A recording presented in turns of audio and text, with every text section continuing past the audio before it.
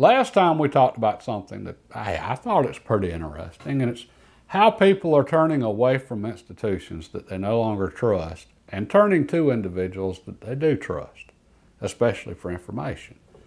And I think it's going to be really important for all of us to develop our, our list of people we trust. And maybe that's where Twitter, X, whatever it is now, maybe that's where it really shows its value in the future is because we can follow certain individuals. Maybe that's where we keep our lists at of people we trust. Okay, and somebody I, have been following for a little while now, but more so recently, um, David B. Collum. Okay, I'll leave a link below to a podcast with the interview with him on just economic stuff. Really sharp guy. Um, he's really down to earth, really simple, but when I say smart, he's a chemistry professor at Cornell. Okay, but anyway, I, I think he's worth listening to. All right, so he's one of the individuals on my list, and I just downloaded X. Hey, I want to support Elon. If he's trying to promote free speech, I'm all for it. And I do want to work on developing my own list of people I want to follow.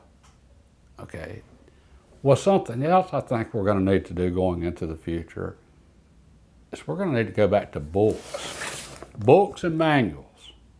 Okay, and the reason for that, the information age, digital technology, is turning into something that we can no longer trust it either. Or, or at least we can no longer trust the software companies that are producing software. Okay, I know that's a bold claim that it's getting to where we can't trust digital technology, but okay. And for myself, I remember when computers first came out, our personal computers, when they were first getting popular anyway in the early 80s. And that was just amazing for all of us. Okay, and the amazing part was how much information we could store in such a small place, storing it digitally. So well, the hard drives were so small then, you could store an entire book as long as it's in a really simple file format on a hard drive. Hard drives got bigger those on personal computers, and well, next thing you know, we can store a lot of information on a computer. Then comes the internet. Okay, so it connects all of these servers and computers that are storing tons of information. So all of a sudden now, we can access this information from anywhere where we can connect to the internet. So now we can access an entire library over a personal computer. That was amazing. All right. And we were just so naive then too. Okay, it just I don't think any of us thought about the potential downfalls of where this could go in the future. No one debit cards came out, so us we had a few concerns, okay. All right, but we just didn't think that much about it. Well, now times have changed. Okay, now it's seriously getting to where we can't trust. It isn't the digital technology, and when I say it's the software companies, all, all of the companies, well, first of all, they all want their own proprietary file formats. Okay, so if you want to access this file, and it could be work that you have created using their software. Well, if you want to access that file, you've got to pay them money. It's becoming subscription based for everything now, or at least as many companies as can are going to a subscription based. So, as far as I'm concerned, it's extortion. Used to, we bought a installation CD, we installed it on our computer. If the computer crashed and burned, we still had the inst installation CD. We install it on our next computer. All right, well, that only works until operating systems get updated to the point that that installation CD no longer works on an up-to-date operating system. Okay, and, and unless you've got a very old computer that you've managed to keep running and it, you're still on an older operating system. Okay, and for myself, I need to look more into Linux. I haven't fooled with Linux in a long time. I need to see if Ubuntu's kept up with updates and so forth. But open source software is what I'm talking about. And that was a good alternative for a lot of things in the past, and maybe it still is. Again, I just haven't kept up with it. Okay, I used to be a lot more computer savvy than I am now. But now, with all so many companies, software companies going to subscription-based services, that none of the information's ours anymore. If we can't open a file without their software, okay, well, this isn't just limited to software. Car companies are going to subscription-based services if you want to use features on the car. Or if you want those automatic high beams to work, or you want your heated seats to work, you've got to pay a subscription, or they will turn that off. And the argument, and I love this, their argument is, well, there's no use in you paying the full price for heated seats when you're not going to use them, say, in the summertime. Or maybe you live in a different climate than the original owner and you just don't need heated seats, so there's no point in you paying for that. Right, so you can just get a subscription and save money. That is the stupidest thing I think I've ever heard in my life because you've already paid for the damn heated seats when you bought the car. The hardware's there. All the digital technology that's now in all of the cars did was give them the means to make your hardware that you've already paid for inoperable. I see it. And it was similar to what Windows did with um, XP a while back. They had the Home Edition and then the Professional, I think. Okay, when you installed the Home Edition, all of the features that were on the Professional Edition were still installed on your computer. It's just locked out so you couldn't use it. Okay, well, they've already developed all of that technology. At that point, they're just withholding features to get more money out of you. Okay, and that works for strict software. Okay, I can see them doing that for just straight up software. But then to make it so that you can't use hardware, Okay, that's taking it to another level. Again, that's where it's going to. And what was it, Colorado, not that long ago, they had a heat wave and a lot of the customers had signed up to get a discount on their energy bills by using uh, digital thermostats. And it turns out there was, a user, there was a user agreement that went along with that, which gave the power company permission to control the thermostat. So the state or whoever said there was a heat wave and the power company literally turned people's thermostats up so they didn't use as much power during the heat wave. And people had zero control over the thermostats in their home at that time. Okay, so none of us saw the digital technology going in this direction, but that's the direction it's going in. And as we become more dependent upon digital technology, we're just at the mercy of whoever. All right, and then they can extort however much money out of us as they see fit. Okay, now the other downside to digital technology, it's not permanent. Okay, and we all knew it wasn't permanent. I, I remember years ago I started storing so many things on the computer. I would scan it into with a scanner, pictures and things like that.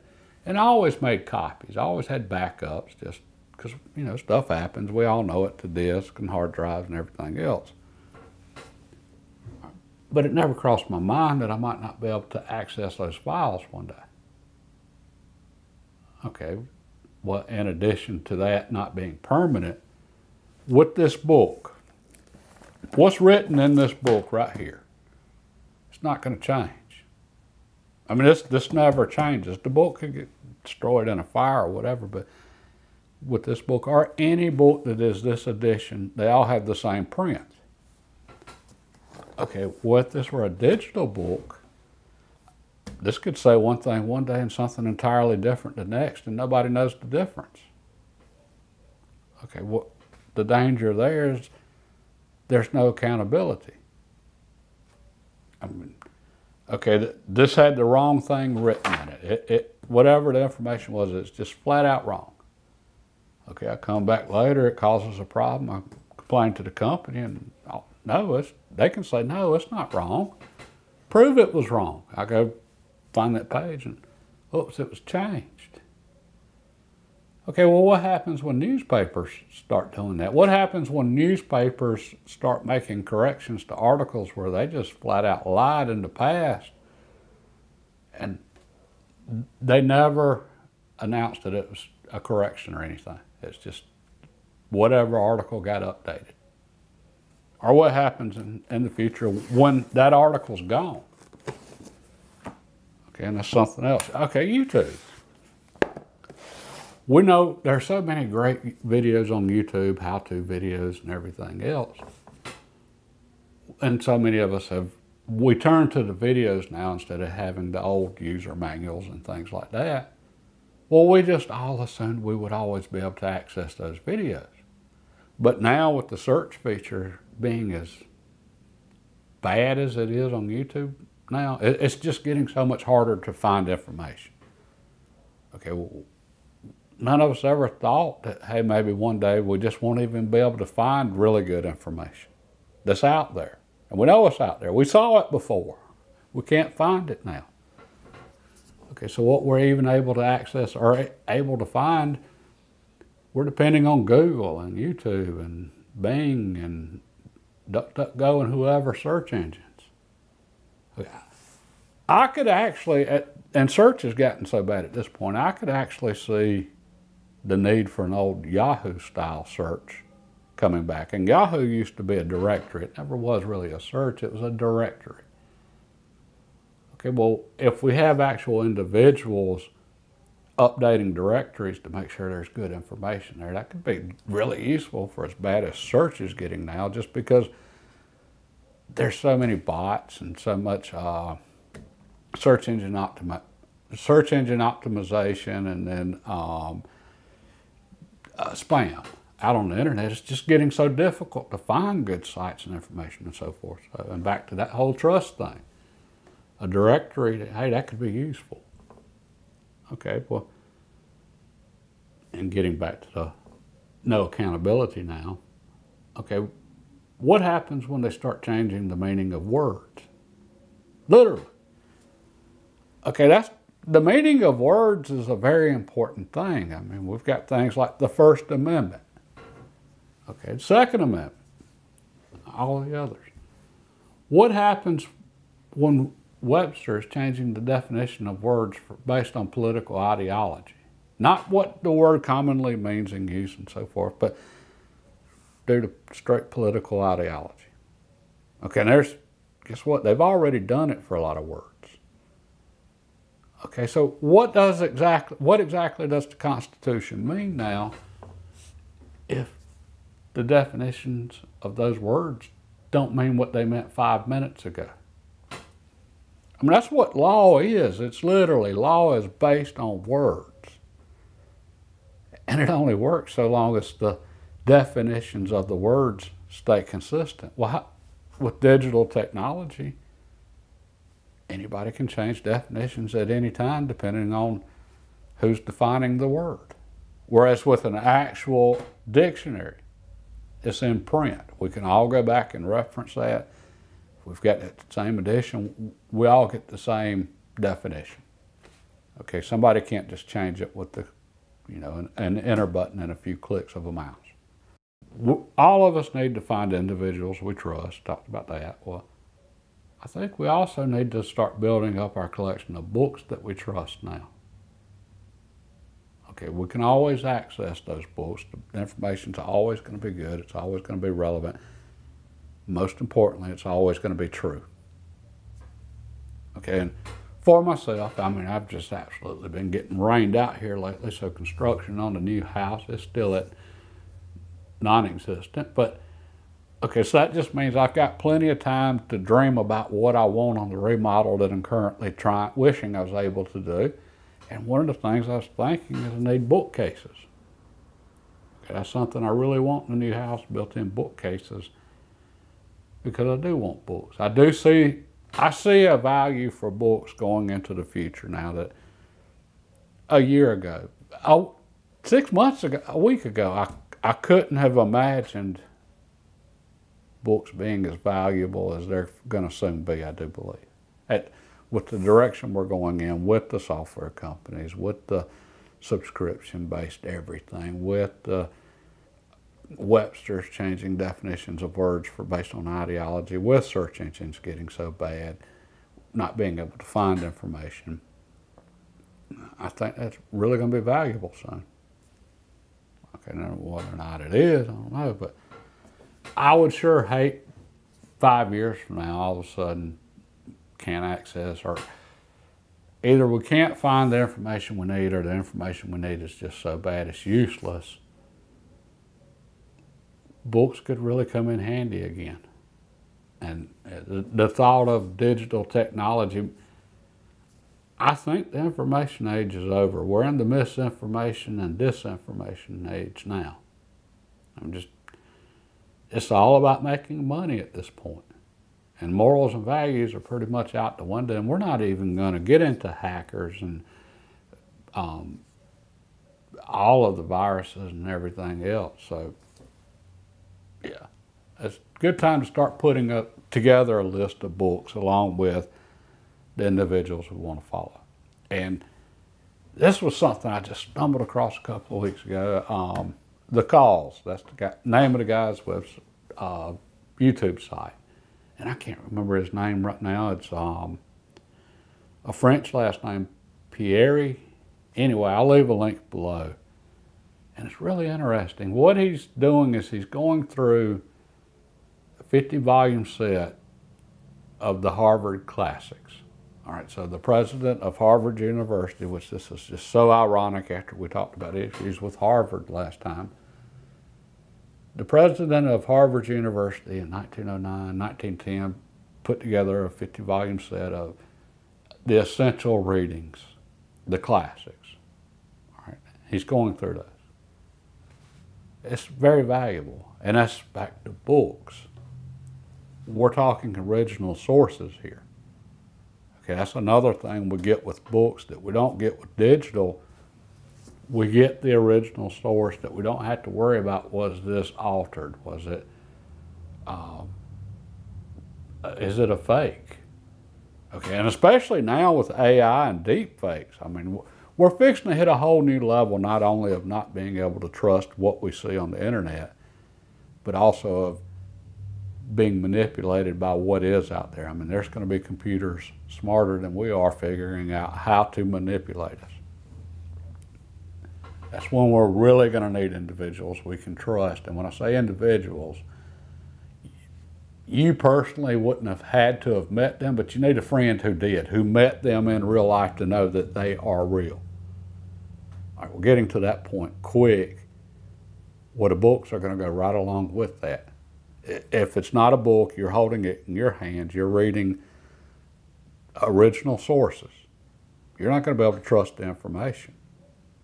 Okay, we can already see what they're doing with history, trying to rewrite history.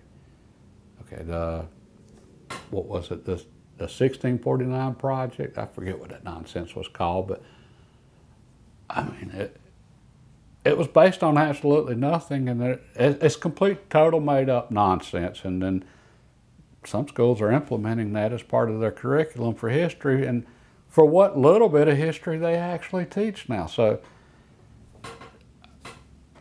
what is history if we don't have original sources and we can access those? Because we can't trust anything that comes out now anywhere from anyone, especially in an institution. Okay, so someone writes about 1649 project, uh, we can't trust that unless we can go back and find original sources and verify it. And even with what little bit I know, I know that's nonsense, what was written in that but most people don't. Okay, without those original sources, I mean, people, institutions, they can say whatever they want to was history. They can make up whatever facts, whatever, I say facts, whatever lies they want to, and say that that was an historical fact, and there's no way for anybody to either prove it or disprove it. So, literally, the digital age would mean the death of history if the original books aren't there. Okay, well, going forward, did Francis Yamamoto, I think that was his name, anyway, wrote a book in the late 90s, and the name of it was The End of History. Okay, and his whole rationale was the Soviet Union collapsing, that that was the end of war and everything was going to be perfect from now on. And history was essentially based on conflict, and therefore there was no more history because no more conflict, or something like that. Okay, going forward, if there's no books, is there any history? I mean, I think he nailed it. It really was the end of history. But not because the end of wars or anything like that. It's because it's the end of actual information that someone couldn't go change at will to say whatever they wanted it to say at any time. It was an actual permanent written record. Anyway, something to ponder there. I think that there is objective reality, contrary to what the postmodernists and the communists say. And I think those of us that are more in touch with reality, I think we're going to be a lot better off than those that aren't. Okay, so eh, if we're at least aware of the notion that there could be some serious economic problems in the near future, I think we're going to be in a lot better shape than those that just get completely blindsided by economic issues we might run into here soon, like a depression. Okay, and, I, I'm not saying a depression is going to happen or imminent or anything else. I just think it's a very real possibility. Okay, and just at least being aware that it's possible, we're in better shape. And then if we can follow individuals that are giving us credible, truthful information, I think that's beneficial to us. We can make better decisions based on that information versus people that are just living in a bubble that just have completely lost touch with reality. Okay, and then throw in with all of that books. So we have factual information that you know, really good books that the information's been verified. We know we can trust that information, and it's always accessible to us. So yeah, I, I think this is stuff worth keeping up with. And for myself personally, over the next few months, I want to work on putting together a list of individuals I trust, along with books that I think are important. And then here in a few months, I, will share that with all of you because right now books are just cheap insurance. They're easy to get.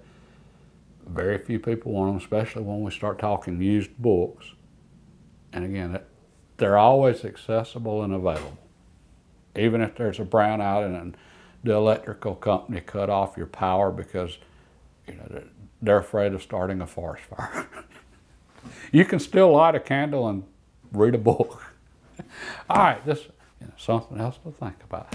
God bless and have a great day.